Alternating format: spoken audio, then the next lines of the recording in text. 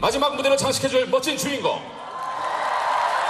손범수가 제일 사랑하는 후배입니다. 박진영! 장화팽